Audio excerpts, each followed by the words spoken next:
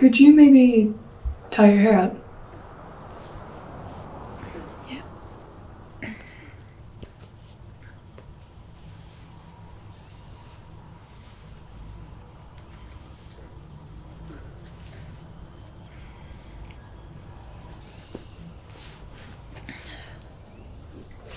No, don't. Leave the cross.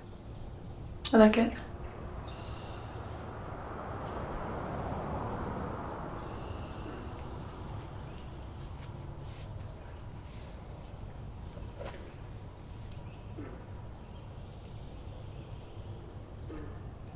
Don't smile.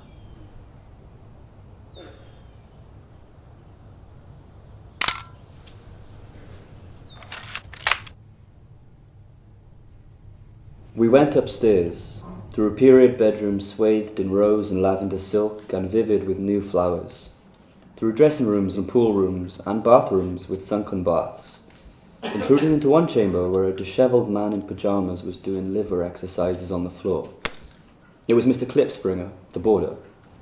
I had seen him wandering hungrily about the beach that morning. Finally, we came to Gatsby's own apartment, a bedroom and a bath, and an Adams study where we sat down and drank a glass of some chartreuse he took from a cupboard in the wall. He hadn't once ceased looking at Daisy, and I think he revalued everything in his house according to the measure of response it drew from her well loved eyes. Sometimes, too, he stared around at his possessions in a dazed way, as though in her actual and astounding presence none of it was any longer real. Once he nearly toppled down a flight of stairs. His bedroom was the simplest room of all, except where the dresser was garnished with a toilet set of pure dull gold. Daisy took the brush with delight and smoothed her hair.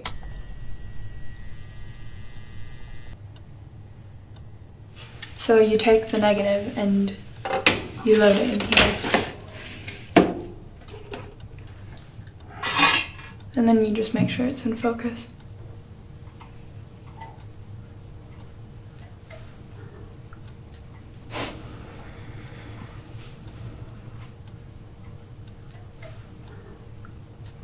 You look different with your hair up.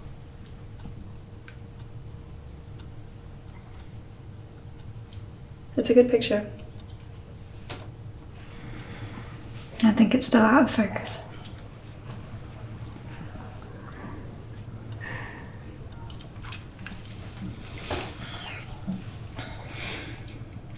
You go to church. Yes.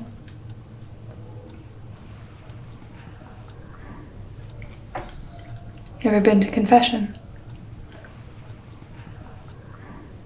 No.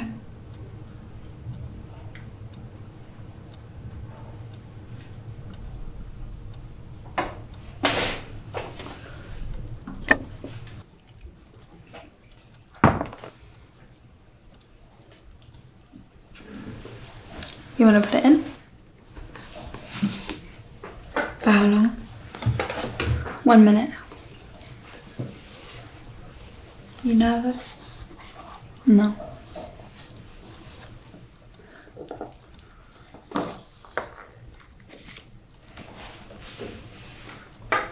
And then you want to rock it back and forth.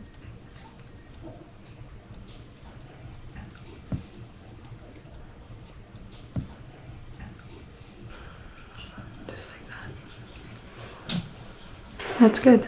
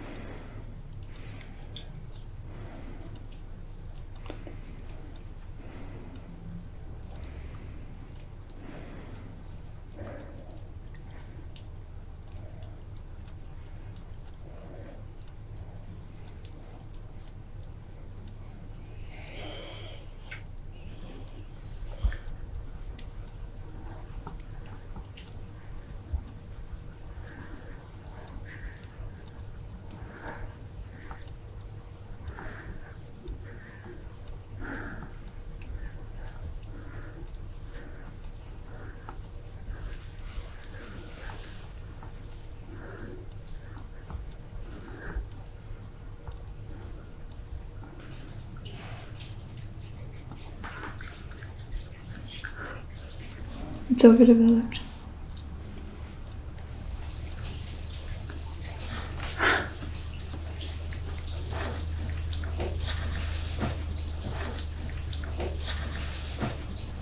It's ruined.